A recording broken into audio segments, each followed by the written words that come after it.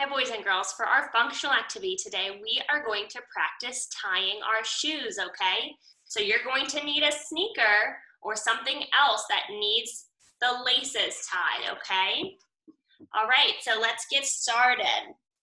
All right, to tie our shoe, we need to have a lace in each of our hands, okay?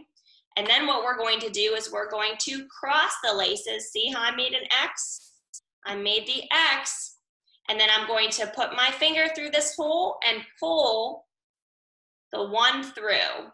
All right, and then we actually can tighten that a little bit so it's right next to the tongue of the shoe. The next step then is to make a loop with one hand and you're gonna keep a hold of that in this hand. And then you're gonna grab the other lace, wrap it around, and we're going to tuck it through. I'm going to turn the shoe sideways so you can see. We're going to grab part of the lace so that we have a little bit of a loop, okay? And then what we're going to do is we're going to pull from the laces, all right? And we should make a, a little loop on both sides. So what you can do if you need to make it a little tighter, you just pull it a little tighter.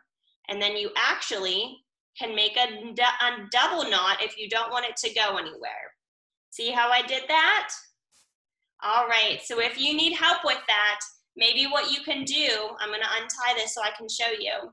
If that's too hard for you, usually when we're in school, we actually do what's called backwards chaining for this activity. So parents, if you were to do this at home with your kids, you would do this part, okay?